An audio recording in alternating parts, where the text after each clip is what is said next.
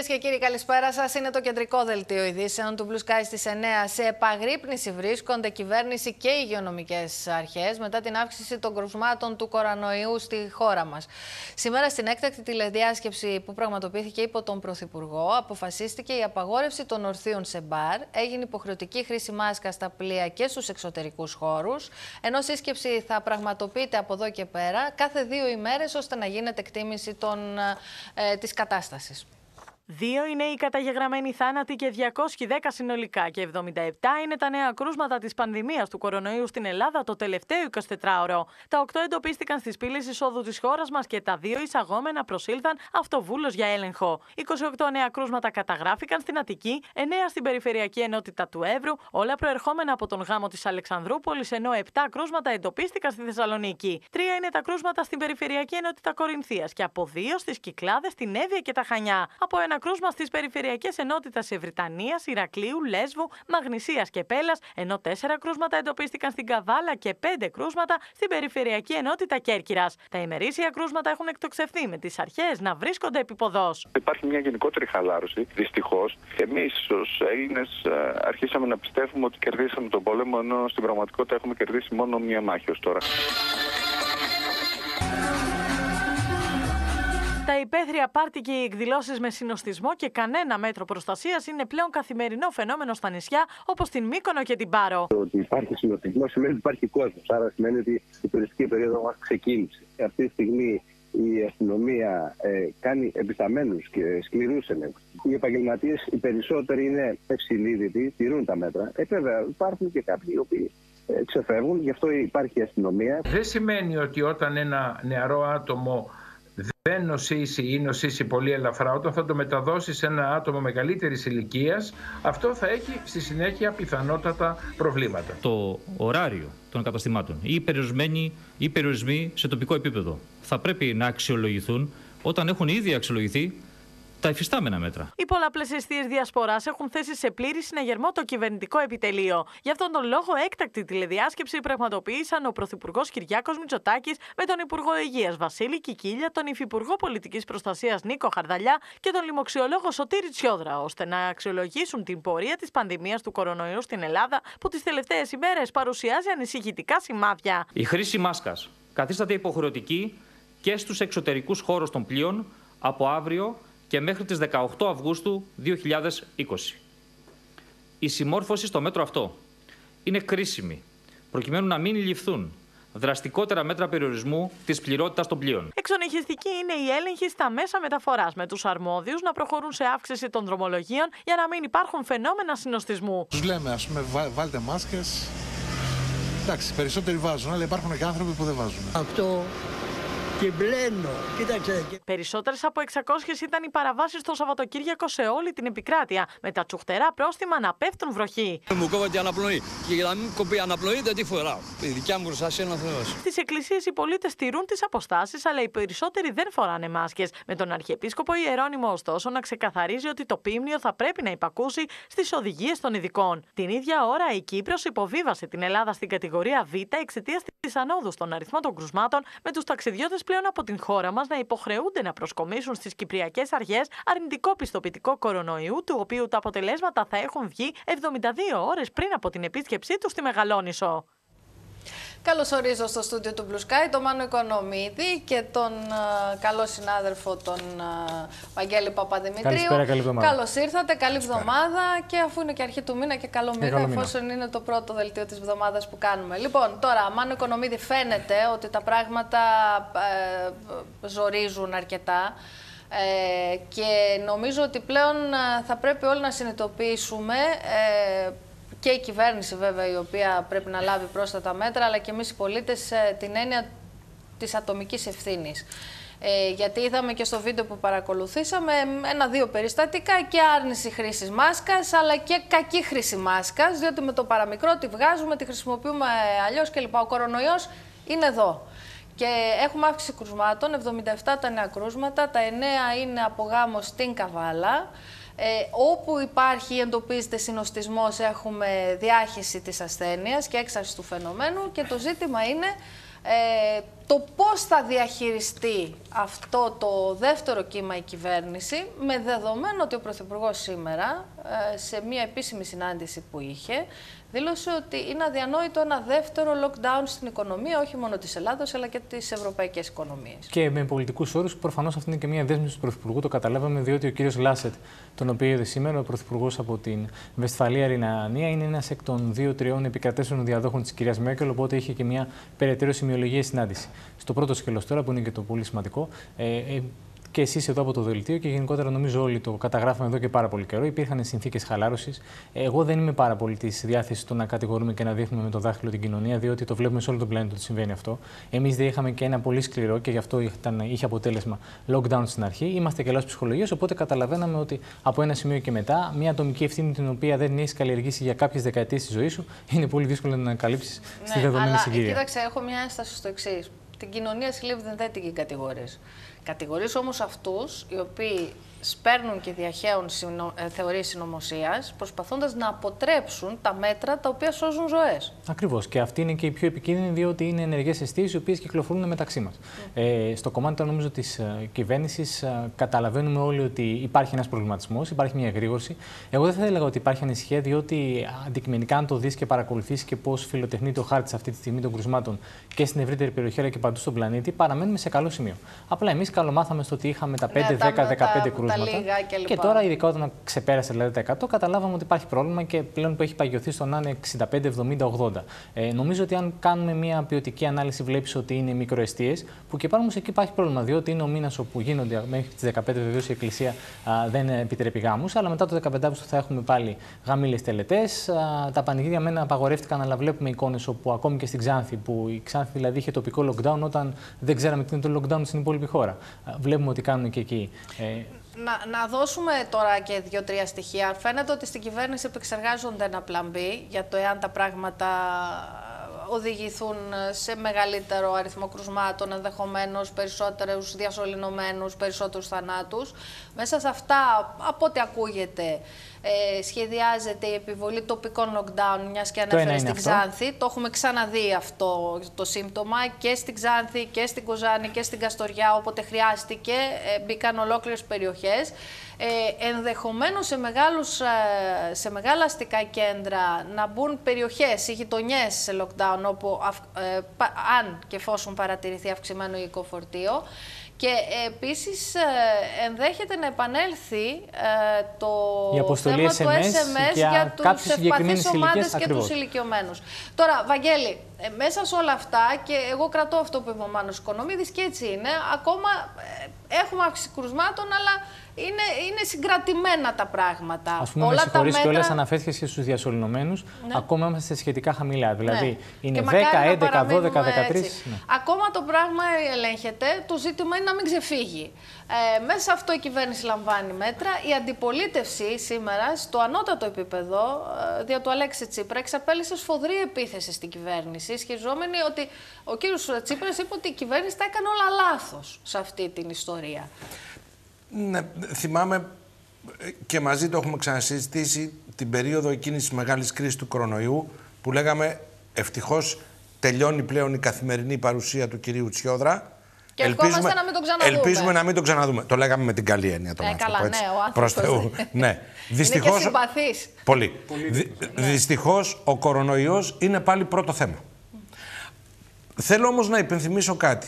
Πριν από 3, 4, 5 μήνες η κυβέρνηση ορθώς, εγκαίρος και πολύ σωστά προστάτεψε τη χώρα κλείνοντας τα πάντα με 70 κρούσματα. Από Παρασκευή ως Κυριακή είχαμε 185.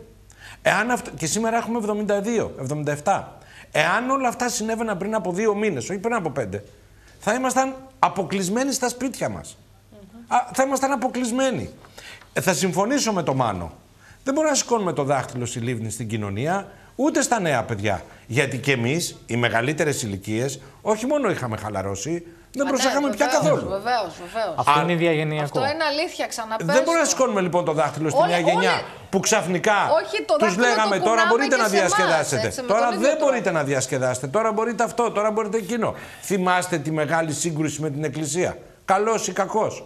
Τώρα στην Εκκλησία φοράνε όλοι μάσκες. Θέλω να πω δηλαδή ότι ναι, η, η, η, ο, ο, η τοποθέτηση σήμερα του Αλέξη Τσίπρα απέναντι στην κυβέρνηση έχει και ένα ποσοστό ορθής κριτικής που λέει είχαμε 70 κρούσματα όταν έκλεισαν τα πάντα. Σήμερα έχουμε 77. Όχι σαφώς. Εγώ δεν αναφέρθηκα ότι είναι λάθος η κριτική. Εγώ λέω ότι ασκεί κριτική στην κυβέρνηση και ε, ε, θέλω να μου δώσει το ρεπορτάζ με ποιο σκεπτικό ασκείται αυτή η κριτική, δεδομένου ότι ακόμα στις μετρήσεις της κοινής γνώμης βλέπουμε, Μάνο και Βαγγέλη, ότι η κοινωνία μάλλον εκτιμά θετικά το πώς στάθηκε η κυβέρνηση. Προσώρας, ναι. Ε, Αλλά θέλω να σου ναι. πω. Ακτου... Αν δεν ξεφύγει, έτσι. Και ναι. όλα αυτά τελούν υπό τον, την αναβλητική αίρεση του να παραμείνει επιτρέπετε να, πούμε, να βάλουμε και μια παράμετρο ακόμα εδώ, γιατί ο Βαγγέλης σωστά το θέτει από την οπτική που το προσεγγίζει. Πριν από τρει-τέσσερι μήνες ήταν η αρχή όλου αυτού του εφιάλτη που ζει και η ανθρωπότητα.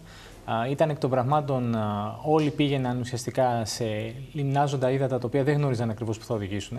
Ε, φυσικά ακόμη μιλάνε για έναν εντός εισαγωγικών αόρατο εχθρό, αλλά έχει γίνει λίγο περισσότερο ορατός και στους γιατρούς και, και στις κυβερνήσεις. Πιο κατανοητός. Ναι. Καταλαβαίνουν λοιπόν τώρα ότι μπορούν να διαχειριστούν καλύτερα τον αριθμό αυτών Είναι αυτό που έλεγε ο κύριος Τσιόδρα, ότι βαδίζουν με αβεβαιότητες. Όλοι βαδίζουν με αβεβαιότητε. Και, και ένα όμως. τρανό παράδειγμα για να σε ε, ενισχύσω το, το συλλογισμό σου ήταν η χρήση τη μάσκα. Θυμάσαι τι πολεμική Πώς ξεκινήσει ο Παγκόσμιος Οργανισμός Υγείας πρώτα απ' όλα. Πώς ξεκίνησε ο ΠΟΗ, ο οποίος είχε κάνει επίσημη ανακοίνωση ότι δεν κρίνεται απαραίτητη η χρήση μάσκας. Ναι. να ναι. υπενθυμίσω όμως και κάτι άλλο. Σε όλη αυτή την πορεία του κορονοϊού, θυμάστε τι μας έλεγαν οι λοιμοξιολόγοι και ήταν και μια αισιόδοξος τόνος από τη μεριά της κυβερνήσεως. Το καλοκαίρι ο, ο ιός δεν ζει. Αποδείχτηκε ότι όχι μόνο ζει, αλλά αναπτύσσεται με ε, γεωμετρική ναι, πρόοδο. Αυτό το. Θέλω να πω ότι και εμεί. υπόθηκε στην αρχή. Ε, θυμάσαι, και πρόσφατα, μέχρι το Μάιο, έχουμε Ιούνιο που λέγαμε σε συζητήσει, μέρος σε συζητήσεις και σε άλλα κανάλια και μαζί Βαγγέλη ότι οι λοιμοξιολόγοι στο τέλος έλεγαν ότι τα αποτελέσματα που έχουμε από Σαουδική Αραβία, από Εμμυράτα κλπ ε, ακυρώνουν αυτό το αφήγημα, γιατί εκεί οι κλιματολογικές συνθήκες ήταν πολύ όπως πιο προθυμένες, όπως και στην Αυστραλία και τα κρούσματα ήταν, είχαν... Ε, Υπάρχει πάντως εδώ μια σημαντική ξεφύγει. λεπτομέρεια με διακόπτης. Ακόμη και όταν το έλεγαν, γιατί φυσικά το είχαμε ακούσει όλοι και το έλεγαν και μέχρι πολύ πρόσφατα, έτσι. Mm -hmm. Ουσιαστικά μιλούσαν για το οικό φορτίο το οποίο θα κουβαλάει ο καθένας mm -hmm. ε, την περίοδο αυτή και βλέπουμε ότι φυσικά υπάρχουν πολύ περισσότερα κρούσματα, γίνονται και πολύ περισσότεροι έλεγχοι.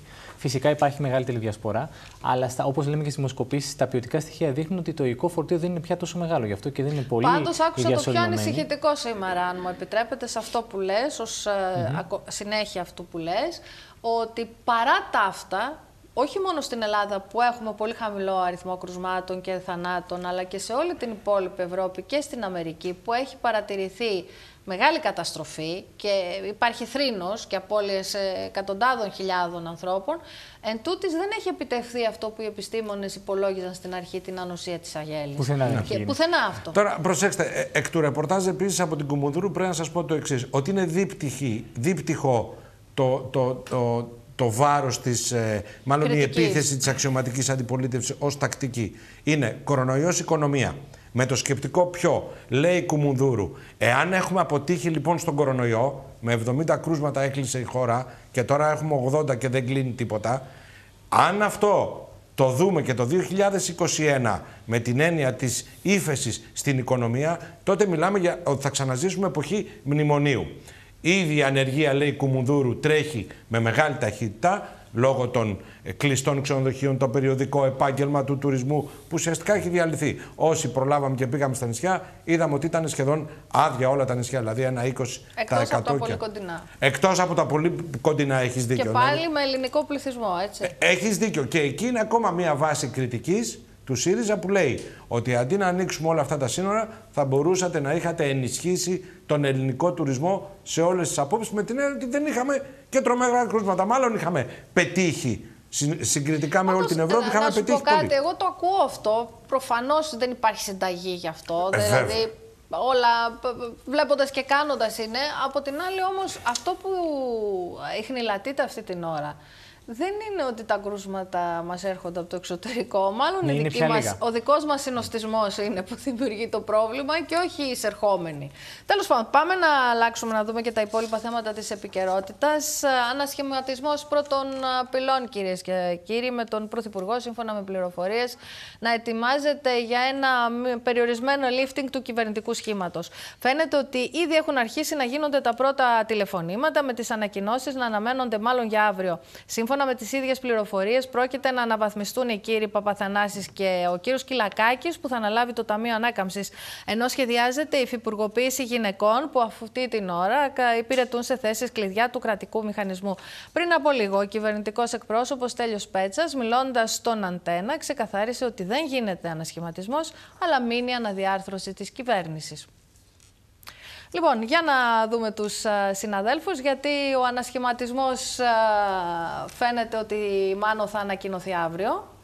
Ε, και α, αφού ακούσαμε και τον α, κυβερνητικό εκπρόσωπο, θα πρέπει να είναι εξαιρετικά περιορισμένος. Και νομίζω ότι πολλά πολιτικά γραφεία και πολιτικοί σήμερα θα κοιμούνται προφανώς πολύ πιο άνετα. Ενώ υπουργοί, υφυπουργοί, οι οποίοι Ναι. αγωνιούσαν, διότι από ό,τι φαίνεται οι αλλαγές θα είναι πάρα πολύ μικρές. Το τηλέφωνο της νύχτας. Ε. Αυτό το οποίο ο κύριος Μητσοτάκης περιέγραφε ως διορθωτικές κινήσεις και σε αρκετές συνεντεύξεις το τελευταίο διάστημα. Ε, Χωρίς να κάνω έτσι τη, τη σύγκριση για προφανείς λόγους, ε, θυμάμαι το 2006 όταν είχε κάνει τον πρώτο του ανασχηματισμό Κώστας Καραμαλής, που το είχε κάνει μάλιστα το ανήμερα του Αγίου Το Αγίου Βαλεντίνου. Βαλεντίνου Ε, ήταν ουσιαστικά ο ερωτικός ανασχηματισμό. ανασχηματισμός. Είχε αλλάξει αρκετούς υπουργούς βεβαίως Ναι, και ναι, ναι. υφυπουργούς, αλλά κατά βάση το πρόσωπο του ανασχηματισμού ήταν η Ντόρα Μπακογέννη, η οποία αφήνοντας το Δήμο Αθηναίων, α, ανέλαβε το στο Υπουργείο Υπουργείο Εξωτερικών, Εξωτερικών. διαδεχόμενη τον Πέτρο Μολυβιάτη. Και τότε έγινε και η, η αλλαγή όπου πήγε ουσιαστικά ο Βαγγέλης Μημαράκης επέστρεψε στο, στο κόμμα. Πάντως νομίζω ότι αυτός ο ανασχηματισμός Θα είναι έτσι, του κυρίου έτσι, Σκυλακάκη, από ό,τι με φαίνεται. Αυτό βάση ήθελα να όλες τις πληροφορίες είναι ο ανασχηματισμός του Recovery Fund, είναι ο ανασχηματισμός Σκυλακάκη και ε, η αναβάθμιση του κυρίου Παπαθανάση από ό,τι ακούγεται σε αναπληρωτή υπουργό. Ο οποίος ε, πιστώνεται προφανώς. Ναι, έτσι, το ότι τα πήγε πιστώνεται, καλά ναι, και τα νομίζω πήγε ήταν μια καλά. μετριοπαθής φωνή, φωνή όλο Ναι. αυτό το διάστημα. Ε, Βαγγέλη Παπαδημητρίου.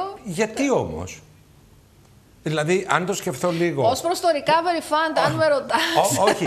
γιατί όμως, γιατί όμως πολιτικά, Ναι. παύλα επικοινωνιακά, να, δημιουργηθεί, να, να, να προχωράς σε μήνυ ανασχηματισμό ή όπως θέλετε πείτε το, μία εβδομάδα πριν το 15 Αύγουστο, που δεν υπάρχουν ειδήσεις πουθενά, τίποτα, αν δεν είχαμε και τον κορονοϊό, μια χαρά θα ήμασταν στα νησιά όλοι, και ένα, πρα- ένα, ένα χαρτί, μικρό, μικρό, χάνεται, δεν κερδίζει τίποτα όσον αφορά την κυβέρνηση ο ίδιος ο κύριος Μητσοτάκης που προχωράει σε αυτό. Καλά, Έχει μένει να δεχθεί δούμε κάποιες ότι οι πιέσεις. πληροφορίες, μένει να αποδειχτεί ότι οι πληροφορίες που δίνουμε είναι ακριβείς. Σωστό. Γιατί αύριο μπορεί να ξυπνήσουμε και, και να μην πέσουμε, γίνει τίποτα. ε, Σωστό. Διατηρούμε την Αλλά και επιφύλαξη αυτό, της ακόμα, αξιοπρέπειας. και αυτό ακόμα ότι οι κυβερνητικές πηγές διαδίδουν ότι πάμε σε ανασχηματισμό, και αυτό έχω την εντύπωση ότι είναι κάποιο λάθος αυτής της περίοδου. Όλοι περιμέναν ένα μεγάλο ευρύ ανασχηματισμό λίγο πριν τη ΔΕΘ που ανεβαίνει Πάντως, και στη Διεθνή Έκθεση Θεσσαλονίκη ως Επειδή πρωθυπουργό και και ο ανακοινώνει το κύριος νέο πακέτο οικονομίας. Γεραπετρίτης, ο οποίος είχε Αλλά- ρίξει προκαιρού πολύ νερό στο μήλο της, ε, του, ανα- την ανα- της ανασχηματολογίας, ε, εί- είχε μιλήσει για διορθωτικές κινήσεις. Νομίζω ότι ε, θέτοντας το ερώτημα δίνεις ως ένα σημείο και την απάντηση έτσι πως το παίρνουμε εμείς από το ρεπορτάζ που μας έρχεται από το Μέγαρο Μαξίμου. Αν δεν είχαμε, είχες πει, είπες τον κορονοϊό. Ε, αυτός ο ανασχηματισμός, αυτή η αναδιάρθρωση γίνεται ακριβώς λόγω κορονοϊού, γιατί ο κύριος Μητσοτάκης, από ό,τι καταλαβαίνω, θέτοντας σε προτεραιότητα την οικονομία και την ανάκαμψή της, θέλει να δώσει τη δυνατότητα, αναβαθμίζοντας τον κύριο Σκυλακάκη, να αναλάβει όλη αυτή την ιστορία των, της εισρωής των κεφαλαίων που έχει αποφασίσει η Ευρωπαϊκή Ένωση και της αξιοποίησης των δυνατοτήτων που απορρέει από αυτό. Τώρα, και η αναβάθμιση ενδεχομένως του κυρίου Παπαθανάση, που είναι το Υπουργείο Ανάπτυξης, έρχεται συμπληρωματικά. Δεν ξέρω, μάλλον αν έχεις άλλο ρεπορτάζ. Να βάλω εσύ. και μία συνεπαγωγή, Βεβαίως. αν μου επιτρέπετε, μάλλον Ναι. συγγνώμη. Ε, μία συνεπαγωγή είναι, θα ανακοινώσει και αύριο μεθαύριο, αν συμβεί αυτό, ο Αλέξης Τσίπρας το δικό του δικό του ανασχηματισμό ανασχηματισμό. με τους δικούς του Αυτό τομεάρχες είναι- είναι ή θα τα αφήσει για... Αυτό ε, είναι μια πολύ σωστή ερώτηση που θέτεις, γιατί και εκεί έχουμε διάφορα θέματα και διάφορες ζημιώσει στην αξιωματική αντιπολίτευση. Στα προηγούμενα κράτη τη Δύση, συνήθως η αντιπολίτευση λοιπόν, είχε πάμε να, πάμε να προχωρήσουμε. Τα μέτρα που ανακοινώθηκαν στην πρόσφατη Σύνοδο Κορυφής για την οικονομική ανάκαμψη της Ευρωπαϊκής Ένωσης από τις επιπτώσεις της πανδημίας συζήτησαν σήμερα στο Μέγαρο Μαξίμου ο Κυριάκος Μητσοτάκης με τον Πρωθυπουργό του Γερμανικού κρατηδίου της Βόρειας Ριενανία Βεσφαλία, Αρμιν Λάσετ. Οι δύο αξιωματούχοι αναφέρθηκαν και στις διμερέ ε, σχέσεις όσον αφορά στα ενεργειακά θέματα. Το ενδεχόμενο ενός νέου κύκλου καθολικής απαγόρευσης της κυκλοφορίας στη χώρα μας απέκλεισε ο Κυριάκος Μητσοτάκης κατά την συνάντηση που είχε με τον Πρωθυπουργό του Γερμανικού κρατηδίου της Βόρειας Ρινανίας Βεσφαλία, Άρμιν Λάσετ. Οι δύο αξιωματούχοι αναφέρθηκαν στον κορονοϊό αλλά και τις βαριές συνέπειες της οικονομίας των χωρών. Και όλοι αντιλαμβανόμαστε ότι δεν μπορούμε πια να πάμε σε ένα καθολικό lockdown, δεύτερο καθολικό lockdown των οικονομιών μας. Η Ελλάδα κατάφερε κατά τη διάρκεια της ε, ε, κρίσης του κορονοϊού να αντιμετωπίσει με έξωπο τρόπο την κατάσταση αυτή και στον τουρισμό έχουν ρηφθεί όλα τα απαραίτητα μέτρα για να μπορέσει να αντιμετωπιστεί όσο το δυνατόν καλύτερα η αντιμετώπιση της κρίσης αυτής. Ο Έλληνας Πρωθυπουργός επικεντρώθηκε στον θετικό απολογισμό της συμφωνίας των ηγετών της Ευρωπαϊκής Ένωσης για το υπερταμείο και τον επταετή προπολογισμό, με τον κύριο Λάσετ να αποδίδει τα εύσημα στην Ελλάδα για την πορεία της οικονομίας, αλλά και να εκδηλώνει το ενδιαφέρον του για τη δυνατότητα συνεργασίας στα ενεργειακά θέματα θέματα. Έρχεστε σε μια ε, συγκυρία εξαιρετικά ενδιαφέρουσα, ε, αλλά και ταυτόχρονα δύσκολη, όπου αντιμετωπίζουμε ταυτόχρονα ε, μια σειρά από κρίσεις ε, και προκλήσεις. Θεωρώ εξαιρετικά σημαντικό ότι ως Ευρώπη καταφέραμε και συμφωνήσαμε σε ένα πολύ ε, τολμηρό βήμα σχετικά με τη δημιουργία του Ταμείου Ανάκαμψης, από το οποίο η Ελλάδα προσδοκά να έχει σημαντικά ωφέλη. Βλέπουμε ότι η οικονομική εξέλιξη διαγράφεται πάρα πολύ θετική στην Ελλάδα και θα συζητήσουμε λοιπόν και αυτές τις πτυχές στο πλαίσιο της σημερινής μας συνάντησης. Ε, θα θίξουμε το ζήτημα της αλλαγής σε ενεργειακά ζητήματα όπου η Ελλάδα προχωρά στην απολυτοποίηση και το κρατήδιο της Βόρειας Ρινανίας Βεσφαλίας ε, έχει τη δυνατότητα τόσο όσον αφορά την αιωλική ενέργεια όσο ε, και την, ε, τα φωτοβολταϊκά να υποστηρίξει την Ελλάδα εν προκειμένου. Το κλίμα μεταξύ των δύο αξιωματούχων ήταν ιδιαίτερα θερμό, καθώς στο τραπέζι τέθηκαν και τα σημαντικά περιθώρια βελτίωσης των διμερών σχέσεων σε ό,τι αφορά τις γερμανικές επενδύσεις στην Ελλάδα. Διάλογος δεν μπορεί να διεξαχθεί υπό το καθεστώς απειλών και επιπαντός του επιστητού. Διεμήνυσε ο Νίκος Δένδιας, ο οποίος ξεκαθάρισε ότι η χώρα μας έχει μία διαφορά με την Τουρκία, αυτή της χάραξης της υφαλοκρηπίδας και των υπεραυτή θαλασσίων ζωνών. Παράλληλα, ο Κυριάκος Μητσοτάκης, αναφερόμενος στις μεταναστευτικές ροές, τόνισε ότι η Ελλάδα δεν φυλάει μόνο τα δικά της σύνορα, αλλά και τα σύνορα της Ευρώπης.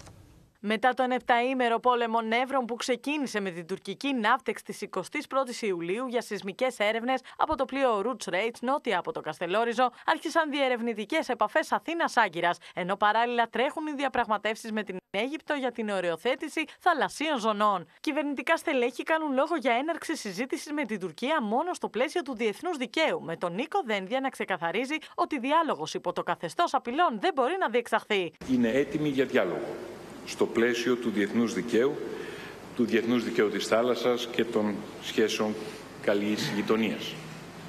Αλλά διάλογος δεν μπορεί να διεξαχθεί υπό το καθεστώς απειλών. Κατά την συνάντηση που είχε και ο Κυριάκος Μητσοτάκης με τον Πρωθυπουργό της Βόρειας Ρινανίας Βεσφαλία, συζητήθηκε το θέμα της τουρκικής προκλητικότητας στο πλαίσιο του υποεκπώνηση σχεδίου της Ευρωπαϊκής Ένωσης για την απάντηση των Ευρωπαίων ηγετών. Ο Έλληνας Πρωθυπουργός αναφέρθηκε στην πρόσφατη απόφαση της τουρκικής ηγεσίας για τη μετατροπή της Αγίας Σοφιάς σε τζαμί και τόνισε ότι αποτελεί μια εμπριστική ενέργεια με αρνητικό αντίκτυπο και στη γερμανική κοινή γνώμη. Οξία κριτική στην κυβέρνηση ασκεί αντιπολίτευση με το κίνημα αλλαγής να τονίζει την αναγκαιότητα εθνικής ενότητας και την ελληνική λύση να κάνει λόγο για πρέσπες στο Αιγαίο. Είμαι σαφώς υπέρ του διαλόγου. Και, αλλά θα πρέπει να αποτελεί στοιχείο της στρατηγικής σου ο διάλογος και να δημιουργήσει τις προποθέσει που θες και εσύ ως χώρα για να εξυπηρετήσει τελικά τα συμφέροντά σου. Ο κύριος Μητσοτάκης δεν παρέλειψε να υπογραμμίσει την τιτάνια προσπάθεια της Ελλάδας όσον αφορά στις μεταναστευτικές ροές, με τον Άρμιν Λάσετ να αποδίδει τα εύσημα στη χώρα μας για την διασφάλιση των ελληνικών ευρωπαϊκών συνόρων. Καλούμαστε να ε, αντιμετωπίσουμε πάντα την πρόκληση των μεταναστευτικών ροών, ε, τις οποίες ως χώρα έχουμε καταφέρει να τις ελέγξουμε σε πολύ μεγάλο ε, βαθμό βαθμό. Ε, και χαίρομαι που αυτό είναι κάτι το οποίο αναγνωρίζεται και από τη Γερμανία αλλά και από την Ευρώπη συνολικά. Καθώς η Ελλάδα δεν φυλάει μόνο τα δικά της σύνορα, ε, αλλά φυλά ταυτόχρονα και τα σύνορα της Ευρώπης. Την ίδια ώρα, ο πρώην Σύμβουλος Εθνικής Ασφαλείας του Λευκού Οίκου δήλωσε ότι θα έπρεπε να επιβληθούν νωρίτερα κυρώσεις στην Τουρκία, αναφερόμενος ωστόσο στην αγορά των ρωσικών S400 από τη γειτονική χώρα. Καλωσορίζω στο κεντρικό δελτίο του Μπλουσκάι και τον κύριο Δημήτρη Βίτσα, τον πρώην Υπουργό, τον βουλευτή του ΣΥΡΙΖΑ. Καλησπέρα κύριε Βίτσα.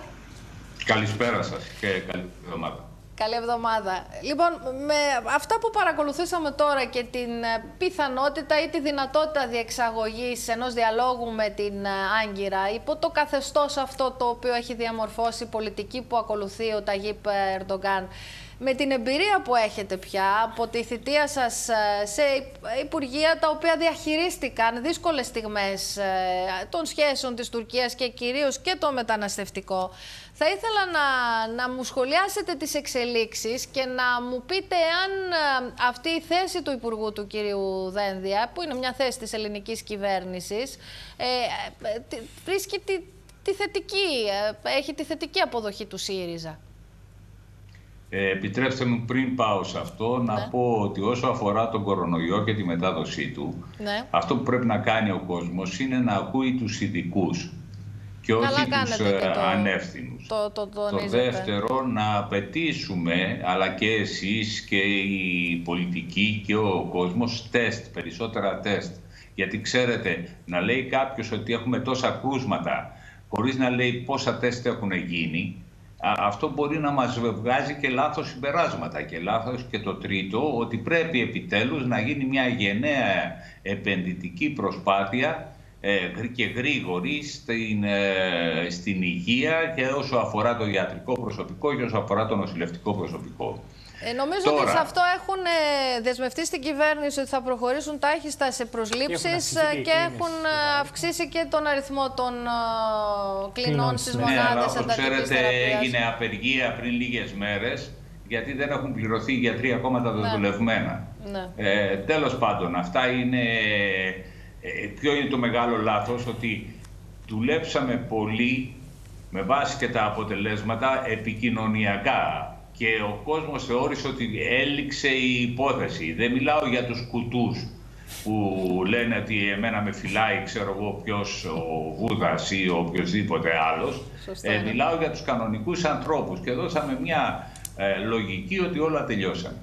Ή ότι όλα ελέγχονται ενδεχομένως. Ναι, και ότι όλα ελέγχονται. Το σωστό, νομίζω ότι το είχε πει και ο κ. Κιόρδας, ε, είμαστε ακόμα σε αχαρτογράφητα νερά και η ιστορία θα λήξει όταν βρεθεί θεραπεία και εμβόλιο. Σωστό είναι αυτό που λέτε. Λοιπόν, λοιπόν εμείς εδώ από την πλευρά μας, κύριε Βίτσα, κάνουμε ό,τι μπορούμε για να ενημερώνουμε τον κόσμο και ε, υπεγραμμίζουμε την ανάγκη της λήψης μέτρων προστασίας. Ελπίζουμε ότι αυτό ακούγεται και τουλάχιστον οι νουνεχείς λαμβάνουν το μήνυμα και ακολουθούν τις οδηγίες των ειδικών, γιατί αυτό, αυτό είναι ο, ο μόνος τρόπος που έχουμε για να προστατευτούμε. Πάμε τώρα στα θέματα της Τουρκίας, στα ελληνοτουρκικά. Κοιτάξτε να δείτε. Διάβλη επικοινωνίας πρέπει να υπάρχουν. Από την άλλη μεριά όμως πρέπει να είναι και καθαρά μερικά πράγματα σε σχέση με τις θέσεις της χώρας μας. Mm εμείς λειτουργούμε με βάση το διεθνές δίκαιο και με βάση τις διεθνείς συνθήκες και ξεκαθαρίζουμε ότι δεν μπορούμε να κάνουμε πίσω ούτε κατά ένα χιλιοστό στα ζητήματα της κυριαρχίας μας. Είτε είναι η εδαφική κυριαρχία είτε είναι κυριαρχική, ε, κυριαρχικά δικαιώματα. Mm Διάλογο με την Τουρκία μπορούμε να κάνουμε σε ένα ζήτημα. Το ζήτημα της υφαλοκρηπίδας και ότι αυτό συνεπάγεται. Δεν υπάρχουν άλλα θέματα. Δυστυχώς βλέπω ότι η Τουρκία βάζει στο τραπέζι μια σειρά πράγματα, γκριζάρει ζώνες, εμπλέκει το Κυπριακό, κάνει διάφορες κινήσεις άλλοτε ευνηδιαστικές, άλλοτε τις έχει προαναγγείλει. Και εμείς από την άλλη μεριά θα πρέπει να κάνουμε μια μεγάλη διεθνή σταυροφορία ενημέρωσης για τις θέσεις μας, για τους κινδύνους της πολιτικής ε, του Ερντογάν, όχι μόνο για την Ελλάδα αλλά και για την Κύπρο, αλλά και για ολόκληρη την Ευρώπη, εγώ θα σας έλεγα και για τους κινδύνους όσο αφορά τον τουρκικό λαό. Άρα αυτή είναι η λογική με την οποία πρέπει να ε, πορευτούμε και πρέπει να χαράσουμε μια ολοκληρωμένη στρατηγική. Η ολοκληρωμένη στρατηγική χαράσεται μέσα από ένα Συμβούλιο Πολιτικών Αρχηγών με τη δημιουργία ενός Συμβουλίου Ασφαλείας και βεβαίως αξιοποιώντας τη θέση μας στην Ευρωπαϊκή Ένωση. Τώρα, ε, πείτε μου κάτι. Ε, επειδή παρακολουθώντας το συλλογισμό σας, δεν λέτε κάτι διαφορετικό από, από αυτά που υποστηρίζει η κυβέρνηση. Ε, οι ενστάσεις σας ε, που, που εντοπίζονται με δεδομένο ότι η Τουρκία πάντα λειτουργούσε έτσι και στο παρελθόν γκριζάριζε ζώνες και στο παρελθόν ανέπλεκε το Κυπριακό. Απλώς τώρα είναι η ιστορία των οικοπαίδων και των υδρογονανθράκων που έχει αποτρελάνει τον Ερντογκάν, ο οποίος θέλει σώνει και καλά να μπει συνεταίρος σε αυτή την ιστορία. Η ιστορία του ναι. γκριζάριασματός είναι από το 96 και μετά, δεν είναι κάτι ε, χθεσινό. Μα, και ο κύριος ε, Δέντια δεν λέει τίποτα διαφορετικό από αυτά που έλεγε στο, γενικότερα και η κυβέρνηση του ΣΥΡΙΖΑ και το Υπουργείο Εξωτερικών που πάλι δεν έλεγε πολύ διαφορετικά πράγματα γιατί όλα αυτά που λέμε έχουν παγιωθεί ως ελληνικές θέσεις τις οποίες τις υποστηρίζουν. Άρα να ξεφύγουμε λίγο από αυτό. Εγώ θα είχα να κάνω μια σειρά παρατηρήσεις, δηλαδή ο γενικός ευνηδιασμός που υπήρξε πριν λίγες μέρες από κινήσει του Ερντογάν παρά το γεγονός ότι ορισμένες τις είχε προαναγγείλει, βγάζει ένα ζήτημα έγκαιρης και σωστής πληροφόρησης. Ε, το γεγονός ότι δεν έχει γίνει ακόμα το Συμβούλιο των Πολιτικών Αρχηγών δείχνει ότι η κυβέρνηση θα έλεγε κανένα θέλει να χειριστεί μόνη της το ζήτημα, κάτι που είναι τελείως λάθος, είναι τελείως λάθος. Ε, και το τρίτο ζήτημα να απαιτήσουμε από τους συμμάχους μας όχι να εκφράζουν τη θλίψη τους και την ανησυχία τους, αλλά να κάνουν κυρώσεις, να εκφράσουν δηλαδή την οργή τους και την αποφασιστικότητά τους. Γιατί το μόνο που μας έλειπε ε, και βεβαίως όλοι θέλουμε, δεν θέλουμε καν να, το σκεφτόμαστε αυτό, να, είναι να υπάρχει μια νέα ανάφλεξη στην Ανατολική Μεσόγειο και στο Αιγαίο και βλέπετε ότι η κυβέρνηση Ερντογάν παίζει τη μια φορά βγάζει το Ούρους Ρέιτς ε, στο, ε, στο Αιγαίο, την άλλη φορά βγάζει τον Μπαρμπαρός και κλιμακώνει την ένταση, ένταση με την Κύπρο. Ναι, αλλά τα μάζεψε όταν έπεσε ο Πέλεκης της Γερμανίας. Ναι, λέω λοιπόν ότι από τη μία την ε, μεριά εμείς πρέπει να κάνουμε σωστή ανάλυση των γεγονότων. Για μένα θα ήταν πάρα πολύ σημαντικό να υπάρξει μια διεθνής πίεση η Τουρκία να υπογράψει το διεθνές, ε, τη Διεθνή Συμφωνία για τα, τη θάλασσα, το δίκαιο της θαλάσσης δηλαδή, θα ήταν πάρα πολύ σημαντικό να υποστεί ή να ξεκινήσουν πρώτες κυρώσεις σε σχέση με αυτά που κάνει ε, δεν ξέρω... ο κύριος ναι. Ε, Ερντογάν. Είναι σημαντικό να προχωρήσουν οι συζητήσεις με την Αίγυπτο, έστω και για μερική, μερικό καθορισμό της ΑΟΣ, τώρα, της Κρήτης. Ναι, τώρα οι συνάδελφοι, ε, μπορείτε να ρωτήσετε τον κύριο Υπουργό. Εγώ θέλω να αλλάξω λίγο ναι. την ατζέντα. Αν ο Μάνος θέλει να ναι, ναι, επιμείνει λίγο όχι, στα διεθνή, να πάμε λίγο στην εσωτερική πολιτική σκηνή, αν μου επιτρέπετε κύριε Βίτσα. Ε, ε, Ακούσαμε πριν από λίγο ή τουλάχιστον οι κυβερνητικές πηγές διαδίδουν ότι μπορεί να πάμε σε μήνυ ανασχηματισμό. Ε, θα ήθελα το σχόλιο σας και κατ' επέκταση ε, να, να, να σας ρωτήσω, επειδή γνωρίζουμε από το ρεπορτάζ ότι και ο κύριος Τσίπρας και εσείς στην Κουμουνδούρου έχετε ετοιμάσει κάποιες αλλαγές στους τομεάρχες. Θα τα περιμένουμε σύντομα και τα νέα ονόματα από, τις, από το δικό σας ανασχηματισμό.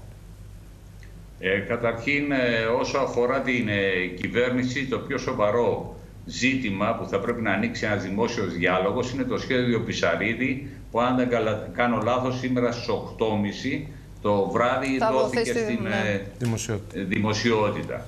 Δεν μπόρεσα να το διαβάσω ολόκληρο, είναι 150 σελίδες, αλλά με μια ματιά θα λέει κανένα διαγώνια που του έριξα. Ε, εμένα μου μοιάζει σαν γενικές κατευθύνσεις ενός μνημονίου χωρίς μνημόνιο.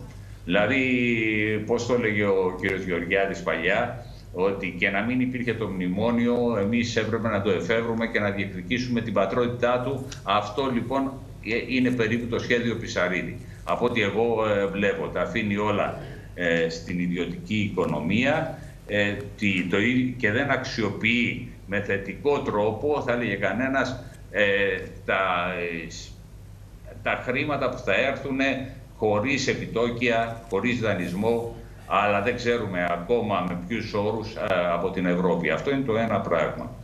Το δεύτερο ε, όσο αφορά τον ανασχηματισμό, είναι μια υπόθεση της Νέας Δημοκρατίας. Τα πρόσωπα έχουν μια σημασία, ε, δεν είναι, αλλά περισσότερο σημασία, όπως καταλαβαίνετε, έχει η πολιτική. Ε, όσο αφορά τώρα τους δικούς μας τομεάρχες, που δεν είναι σκιώδης κυβέρνηση, είναι τομεάρχες πάνω σε συγκεκριμένα ζητήματα, δεν νομίζω ότι θα προχωρήσουμε τώρα, άλλωστε η Βουλή έχει κλείσει. Ε, νομίζω ότι όλα αυτά εκτός αν συμβεί κάτι άλλο, ε, θα πάνε προς το τέλος του Αυγούστου μαζί με την εκτίμησή μας πότε θα γίνει το συνέδριο και με ποιους όρους.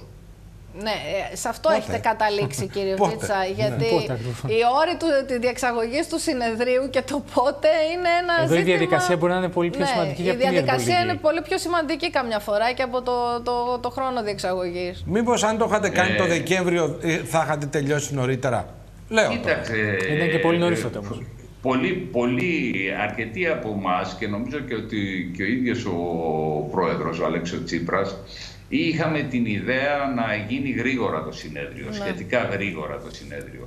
Απλά θα χρειαζόταν για να γίνει και σωστά να δουλέψουμε πολύ περισσότερο. Δηλαδή να βγάλουμε τον απολογισμό πιο γρήγορα, να γίνουν οι συζητήσεις πιο γρήγορα. Βεβαίως, κανένας μας δεν περίμενε τον ε, κορονοϊό. Ε, καλά, ναι, αυτό... έχει, έχει σημασία βέβαια να κάνουμε ένα συνέδριο ουσιαστικό μαζί με την κοινωνία ε, και θα έλεγε κανένας σε ένα συνέδριο βεβαίως και με ασφάλεια, με πλήρη ασφάλεια. Έχετε Νομίζω καταλήξει ε, για κάποιον, για κάποιον που δεν παρακολουθεί τόσο πολύ τα τεκτενόμενα στο, στο ΣΥΡΙΖΑ, στο εσωτερικό, έχετε καταλήξει τελικά για το αν θα είναι το κόμμα πιο ανοιχτό ε, και ε, πώς θα ε, εγκολπώσει νέα μέλη, στελέχη και μεγαλύτερες κοινωνικές ομάδες γιατί νομίζω ότι κάποια στιγμή ήταν επίδικο ζήτημα αυτό. Το μοντέλο Κόρμπιν που συζητούσαν. Αυτό δηλαδή, έχει τελειώσει, αυτό έχει τελειώσει θα έλεγα από το Σεπτέμβρη πέρσι αυτή η συζήτηση. Το ΣΥΡΙΖΑ Προοδευτική Συμμαχία θα είναι ένα ανοιχτό κόμμα και το βασικό ερώτημα αυτή τη στιγμή είναι, θα είναι ποια θα είναι τα βασικά στοιχεία του προγράμματος τα οποία θα έχει ως στόχος αλλά και θα τα κάνει όταν θα ξαναγίνει η κυβέρνηση. Και μην, ε, η γνώμη μου είναι ότι θα ξαναγίνει ε, σχετικά σύντομα. Όταν λέω σχετικά σύντομα δεν σημαίνει αύριο το πρωί, αλλά όπως βλέπετε η κατάσταση στην οικονομία και στην κοινωνία και στην οικία ε, δεν νομίζω ότι τα έχει καταφέρει καλά ο κ. Μητσοτάκης. Μάνο. Ήθελα λίγο να κλείσουμε να το γυρίσουμε στα ελληνοτουρκικά, επειδή και ο Υπουργός είναι από τις πιο ψύχρεμες και μετριοπαθείς φωνές. Θεωρείτε ότι υπάρχει, υπάρχουν πολιτικές συμπτώσεις αυτή τη στιγμή που θα οδηγούσαν σε ένα πραγματικά χρήσιμο Συμβούλιο Πολιτικών Αρχηγών; Το λέω διότι γνωρίζετε καλύτερα και από εμάς τη σημειολογία ότι αν βγουν οι πολιτικοί αρχικοί από εκεί χωρίς κοινή γραμμή, οι εντυπώσεις θα είναι πολύ χειρότερες. Και όχι τόσο στο εσωτερικό, αλλά στο εξωτερικό της χώρας. Υπάρχουν συμπτώσεις δηλαδή; Προσπάθησα να σας πω ότι η γενική γραμμή, δηλαδή ότι συζητάμε μόνο για την υφαλοκρηπίδα, ε, ότι συζητάμε ε, με ένα Σε αυτό συμφωνείτε όλοι, ναι. Έτσι, ε, υπάρχει. Αυτό υπάρχει. Τώρα, πρέπει να συζητηθούν ζητήματα τακτικής, ενίσχυσης της ε, διεθνούς διπλωματίας, ορισμένα κομμάτια ενίσχυσης του εσωτερικού, ας το πω, μετόπου, με την έννοια, για να μην παραξηγηθώ, της διαμόρφωσης κοινή αντίληψης για τους πολίτες της ε, χώρας, βεβαίως ε, ζητήματα που αφορούν τις ένοπλες δυνάμεις, ε, που θα είναι και μέσα στην ε, ατζέντα, νομίζω ότι Έχουμε πια το μυαλό και όποιος δεν το έχει, αν βγει έξω και αρχίσει να κάνει προσωπική πολιτική, αν βγει από τη συνεδρίαση δηλαδή, αρχίζει και κάνει, να κάνει προσωπική πολιτική, ε, θα είναι υπεύθυνος των ενεργειών του, αλλά θα, η γνώμη μου είναι ότι θα ξεφτυλιστεί και μπροστά στον ελληνικό λαό. Γιατί κανένα δύο επίφοβους τους σκεφτόμαστε όλοι μάλλον.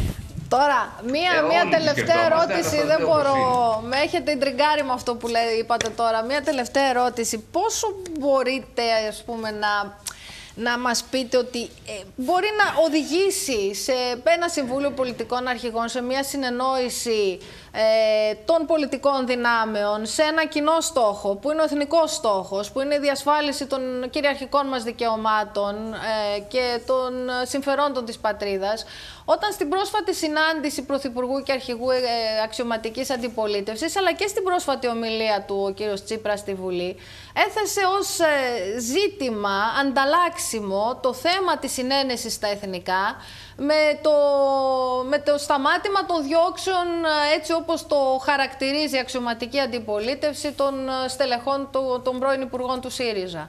Αυτό Ακούστε. στρώνει ένα μονοπάτι συμφωνία σε βάση εθνική. Ακούστε, το πατριωτικό και το ευρωπαϊκό μας καθήκον, άρα και το εξ αυτού μέτωπο είναι ένα ζήτημα το οποίο ούτε το ανταλλάσσουμε, ούτε το διαπραγματευόμαστε. Συγχρόνως όμως λέμε ότι δεν θα αφήσουμε ασχολίαστα αυτά που συμβαίνουν αυτή τη στιγμή στην ε, Ε, άλλο ελληνική τόνο όμως άλλο πολιτική τ' ζωή. Άλλο. Δηλαδή Άρα, λέτε ότι ήταν ατυχής η επειδή διατύπωση ήτανε- ή το καταλάβαμε λάθος; Δεν κάναμε. Δεν, ε, μα, ε, αν θα διαβάσει κανένα την ομιλία του Αλέξη του Τσίπρα αλλά και τις τοποθετήσεις τους, καμία ανταλλαγή. Κανένα συμβιβασμός. Δηλαδή, τι να κάνουμε, στα ζητήματα της οικονομίας έχουμε μια οξύτα της ε, σύγκρουσης. Στα ζητήματα της δημοκρατίας Όχι, έχουμε άλλο μια λέω κύριε οξύτα της Υπουργέ. σύγκρουσης. Κύριε Υπουργέ, άλλο Λέω λέω. τώρα, το θέμα αυτό- Παπαγγελόπουλου με το θέμα ελληνοτουρκικά θεωρώ ότι δεν μπορεί να μπαίνει στην ίδια ζυγαριά. Μα, μα ε, ξέρετε, το, το, το- όχι αστείο, το πολύ σοβαρό, είναι το εξής, ότι η επισήμανσή μας ότι τη στιγμή που έχουν βγει δύο στόλοι στη Βουλή θα μπορούσες να συζητάς αυτό το πράγμα και τον Παπαγγελόπουλο ή οποιοδήποτε άλλη υπόθεση μπορούσε να υπάρχει μια εβδομάδα πιο μετά, αυτή η επισήμανσή μας δεν είναι συναλλαγή ούτε ανταλλαγή. Επισημάναμε το πώς θα φαινότανε και με τον καλύτερο τρόπο αυτό που μπορεί κανένας να ονομάσει πατριωτική ομοψυχία. Μάλιστα. Δεν ζητήσαμε να μην ε, Συζητηθεί. Να μην διωχθεί, συζητηθεί, να μην ναι. γίνει συζήτηση. Μάλιστα. Να μην Όχι, γίνει καλά συζήτηση. κάνετε και Αυτό το είναι ξεκαθαρίζετε, καθαρό. γι' αυτό έθεσα και το ερώτημα, γιατί εμένα μου είχε μείνει Αλλά έτσι ένα από την άλλη κενό μεριά από εκείνη την ημέρα. Υπάρχει μια εκστρατεία υποκινούμενη από συμφέροντα αλλά και από κυβερνητικές πηγέ- πηγές κατά συκοφάντησης και πώς να σου πω βούρκου του, της πολιτικής ζωής στην οποία ούτε πρόκειται να πέσουμε μέσα αλλά δεν πρόκειται να την αφήσουμε να και να περάσει έτσι. Μάλιστα. Κύριε Υπουργέ, σας ευχαριστώ πάρα πολύ για τη συζήτηση που είχαμε Σε απόψε. ευχαριστώ και εγώ. Ευχαριστώ και εσά, αγαπητοί Και εμείς. συνάδελφοι. Ευχαριστώ. Ε, Κυρίες και κύριοι, στο σημείο αυτό το δελτίο μας ολοκληρώθηκε. Ε, μείνετε στο Blue Sky. Ε, μπορείτε βέβαια να παρακολουθήσετε το δελτίο και όλες τις εκπομπές στην ιστοσελίδα του σταθμού blueskytv.gr. Ακολουθεί η πρόγνωση του καιρού και στη συνέχεια η εκπομπή Αντιπαραθέσεις απόψε με τον Κώστα Χαρδαβέλα. Να είστε καλά, να έχετε ένα όμορφο βράδυ. Γεια σας.